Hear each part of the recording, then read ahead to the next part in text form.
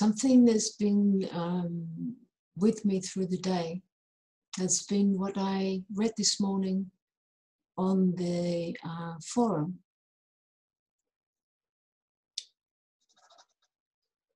Which is really beautiful reading how people are connecting and sharing such depth and honesty and clarity and respect. And this is just really, really touching every time. And something that Lindsay said, a really beautiful um, expression, which is sp- speaks to it all and speaks of it as the um, the smile inside the grief. How many of you know the smile inside the grief? The smile behind the grief or in the midst of the grief? Yeah, raise your hand. Yeah, yeah.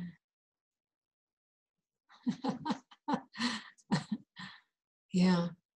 And as I was walking along the beach this morning, like just enjoying the magnificence, that was with me. And it was really uh, I was seeing how you that smile doesn't really come until you really go to the until you go to the grief until you really go inside the grief. You really go there and you really feel it and you really be here in it.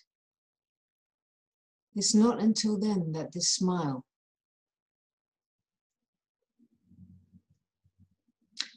And I was looking at, feeling that, looking at that, because that's very much what's with me on a daily basis here as I walk through situations that are so heartbreaking.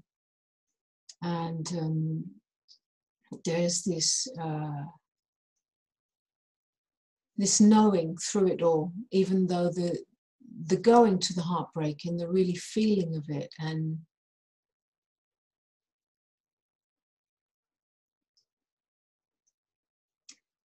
the places where it takes you to as it as it on the human level the egoic structures it's like you have to go and face the powerlessness.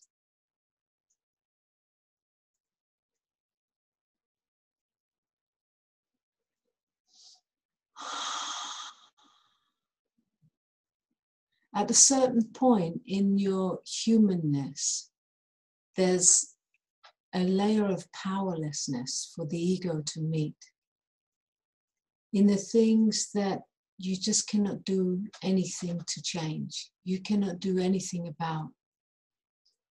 And so the ego has to meet a certain layer of powerlessness where it really just it, it tries everything that it possibly could do to manage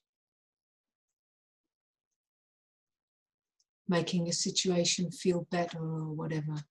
But then there's a certain moment where this powerlessness is seen and kicks in and a giving up, which is really a surrender, like in in the suchness, to the suchness, seeing the suchness, realizing the suchness that there is nothing I can do more than just be here in it.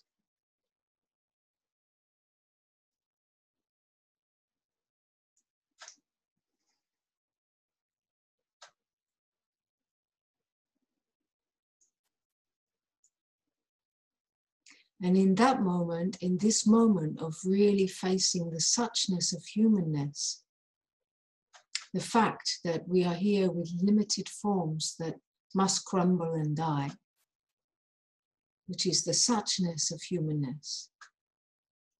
And in the facing of that is the surrender of the ego to, to a force and a source in which its hands, it's in its hands, the turning of this planet. the next breath. Is in the hands of what gets surrendered to.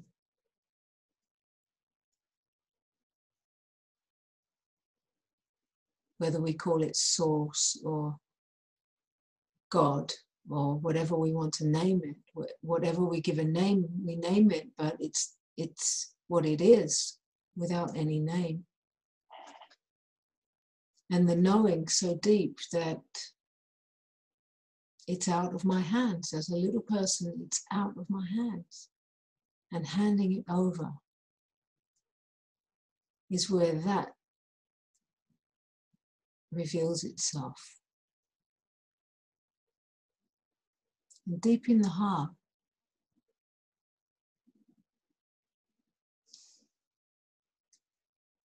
is the okayness with the suchness, which brings a smile and touches this humanness.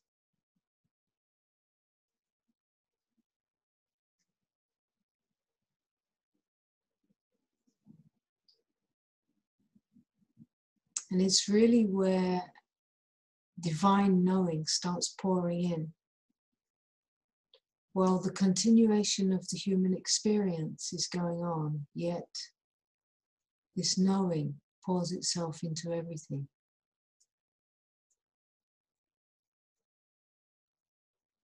And then you really become available. There's an availability for the divine being that one is to pour itself in to the humanness.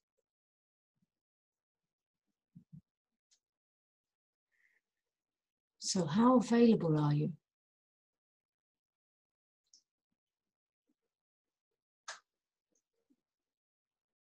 How much do you need to be broken down before you become available?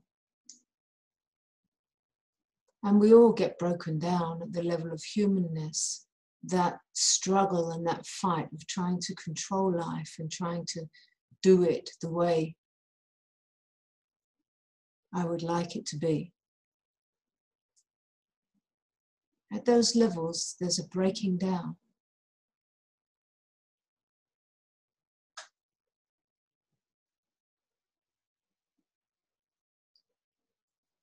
And through that breaking, we are made more and more available. How available are you?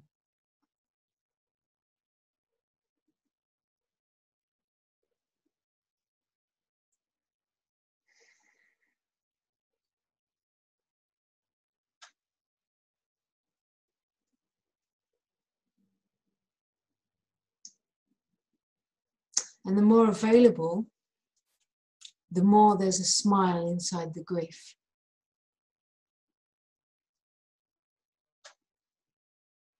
Because grief then can come home through your body and be transformed by the meeting, the true meeting of it. And you're being made new as a being, not as a, a person, but as a being the integration of this divine pouring touches humanness. So if your life's falling apart in some areas,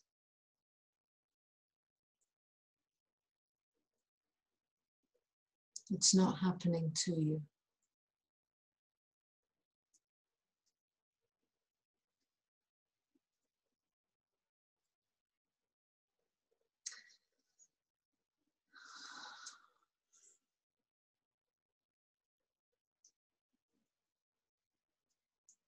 So let us see what this meeting will unfold today.